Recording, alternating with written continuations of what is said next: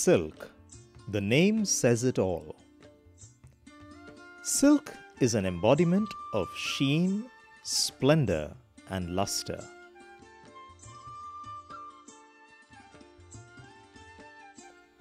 Whether religious festivals or wedding ceremonies, silk bestows an aura of sacredness to the occasion.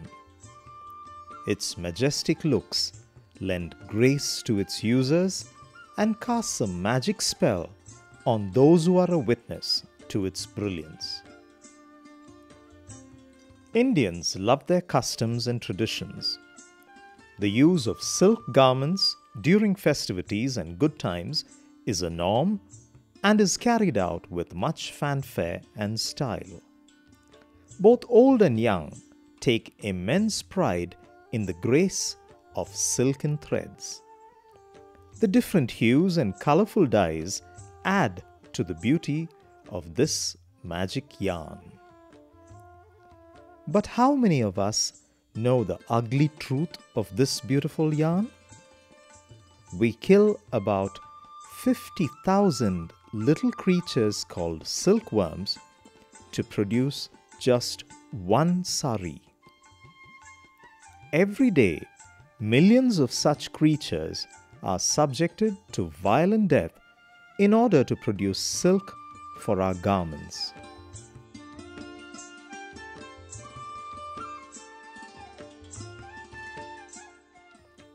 For us Indians, it is an uneasy compromise. In the land of the Mahatma, the silent screams of such innocent creatures are hard to ignore some crusaders of non-violence started looking for clean alternatives. One such Ahimsavadi in the state of Andhra Pradesh, Sri Kusuma Rajaya, at last came out with a fine solution with an undercurrent of peace. He came up with an escape route for both the silkworm as well as the silk users.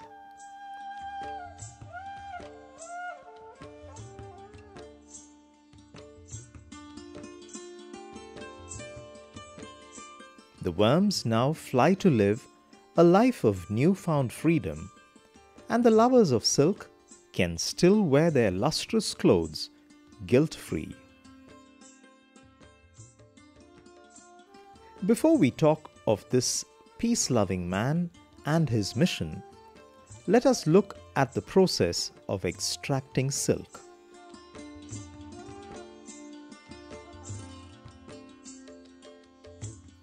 It is said that silk was discovered about 5000 years ago. And legend has it that it happened in a garden in China that while the princess was sipping her tea, when she plucked a cocoon from a mulberry tree, it somehow accidentally fell into her cup of tea. The princess was dazzled by the beauty of the spectacle in her teacup as strong white threads started unraveling. That little storm in her teacup went on to create big ripples all over the world as time passed by. There are several stages in the production of silk. It is actually the fiber which certain insects produce to build their cocoons and webs. In fact, many insects produce silk, but it is the filament produced by the mulberry silk moth called Bombyx mori, which is used by the commercial silk industry to produce the yarn. Silk filament comes from the cocoons built by the silkworms, which are not worms in a real sense, but only silk moth pupae.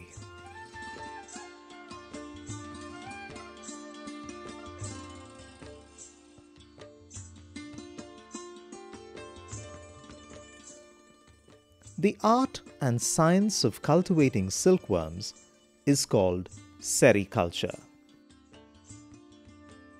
a field which offers employment and livelihood to lakhs of people in the country.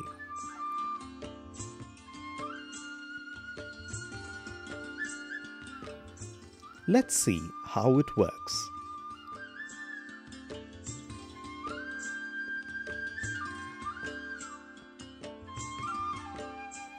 First, the tiny eggs of the silkworm moths are incubated until they hatch into worms. Then they are placed under a fine layer of gauze covered with finely chopped mulberry leaves.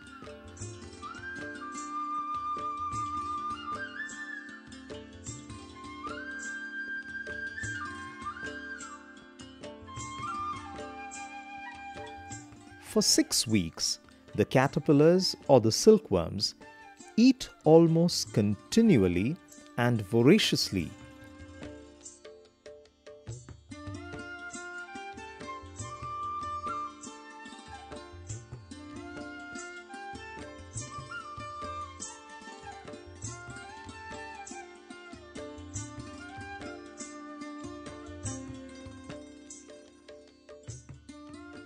and increase in size tremendously.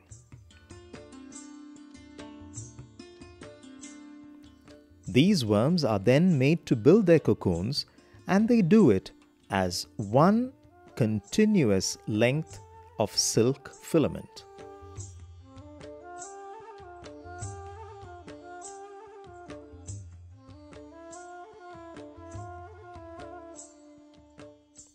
The worms have two large glands in them which secrete a liquid from a single exit tube in the head called spinneret. This liquid secretion from two glands harden on exposure to air and form twin filaments composed of fibroin, which is a protein material. A second pair of glands secretes a gummy binding fluid called sericin which fuses the two filaments together. Do you want to know what it is that gives silk its sheen? It is the triangular shape of the filament and the light reflecting off those surfaces. Over a period of three days, the silkworm spins its cocoon, producing up to 950 meters of silk filament.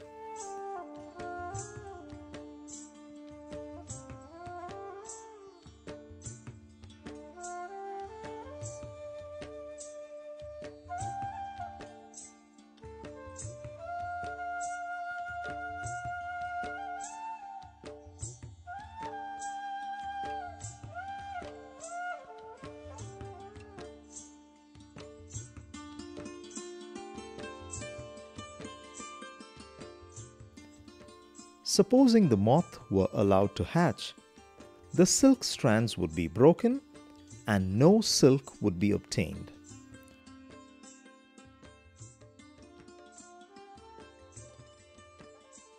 Now comes the sad part of our story. So, to preserve the silk strands, the pupae inside the cocoon are killed well before they hatch. Hot air or steam is used for this gruesome act.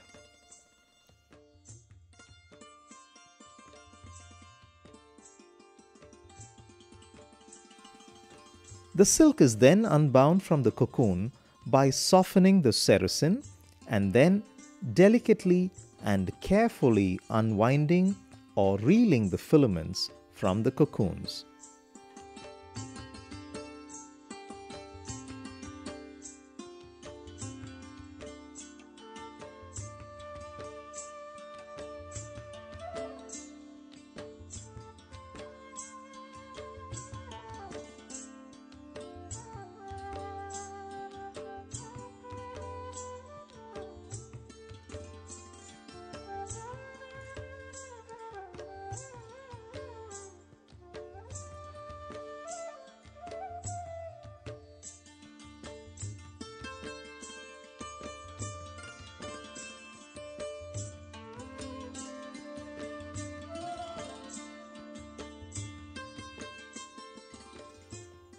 How do you differentiate between raw and soft silk? Raw silk is the one which still contains sericin. Once sericin is washed out in soap and boiling water, the fabric is left soft and lustrous and this becomes 30% lighter too. Then the strands are wound together in a process known as throwing to create a silk yarn. Depending upon the number of standards and twists, the weight and texture of the silk yarn is determined. Understanding silk would be incomplete without knowing Denier and Hank. The thickness of silk filament is expressed in terms of Denier the number of grams of weight per 9000 meters of filament and spun silk is given a numerical designation based on the number of hanks that is 840 yards length per pound of yarn.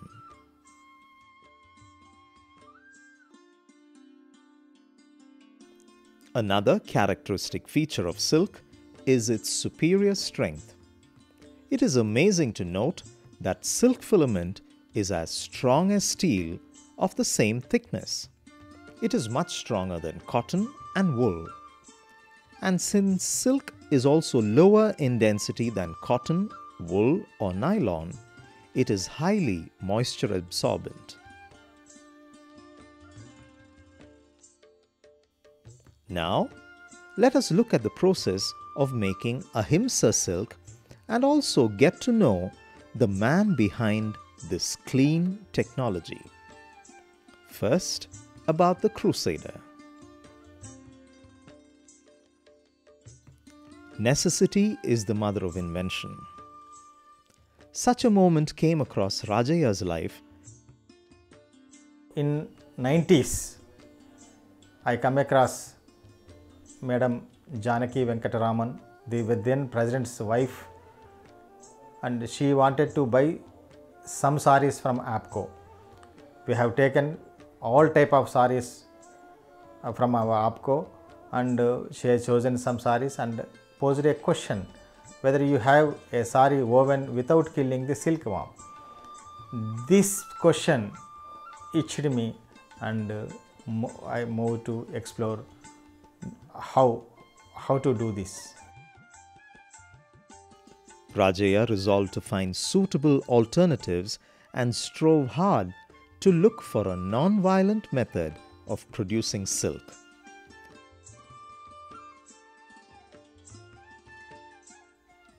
Meet Sri Kusuma Rajaya of Warangal, Andhra Pradesh. Born into a family of weavers, Rajaya pursued the dream of being an expert in weaving technology and went to Salem, Tamil Nadu, to complete his diploma in handloom technology. He later joined the AP State Handloom Weavers Cooperative Society as a technical officer and offered guidance to weavers in weaving new designs and quality control procedures. Since I am the handloomist, I know how the silk is made and how the other fabrics are, other fibers are made. Then I attempted the Ahimsa silk, Ahimsa way and I selected some cocoons after piercing the cocoons. I made sample production of two saris in 1991 92. The entrepreneur Rajaya became a crusader for non-violent technology and projected his idea in 2006. Today, Rajaya is a beacon of hope to many small and medium class weavers who aspire to market ahimsa fabrics among the niche clientele in different parts of the world.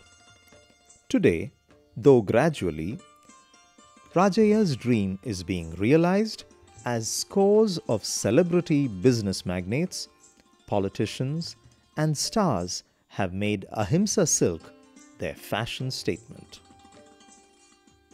Now, let's take a look at the process of extracting silk the Ahimsa way. The Ahimsa method in the silk production process itself was the innovation. His approach was novel, fresh, and unexpected. The idea of putting an end to the violent death of the silkworms was the aha experience for Rajaya. The silken touch of Rajaya defined peace in a new context and altered the meaning of life itself. Putting the cocoon in hot water was a strict no no for him. He patented the technology of spinning the yarn by allowing the insects to escape at the most appropriate time and then use the quality produce.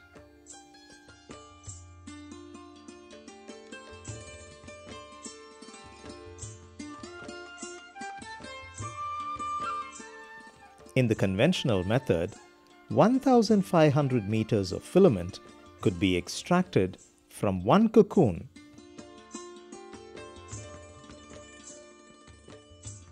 and over 95% of the yarn could be used.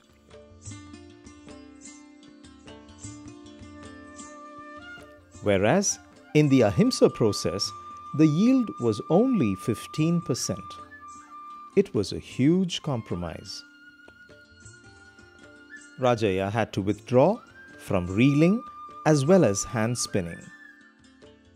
Instead, he did it mechanically to produce finer threads and quality garments.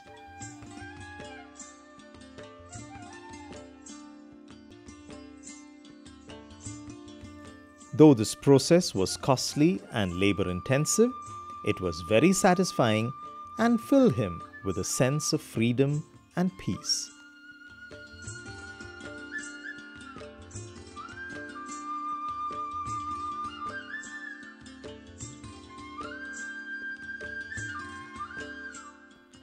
Rajaya has successfully created about 30 designs including Kanchipura, Kalakshetra, Ikat, Jamdani and Kalamkari printed saris.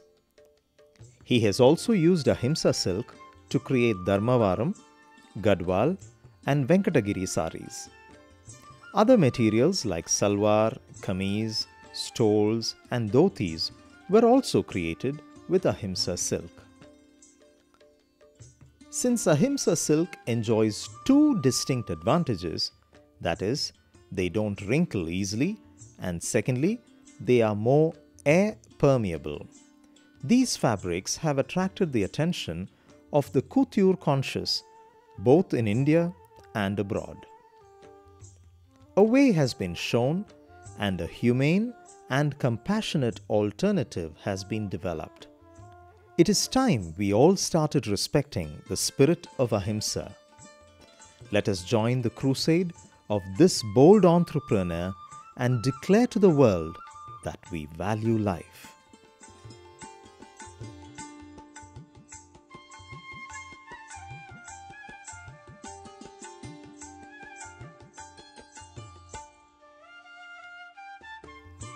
We are not human beings on a spiritual journey.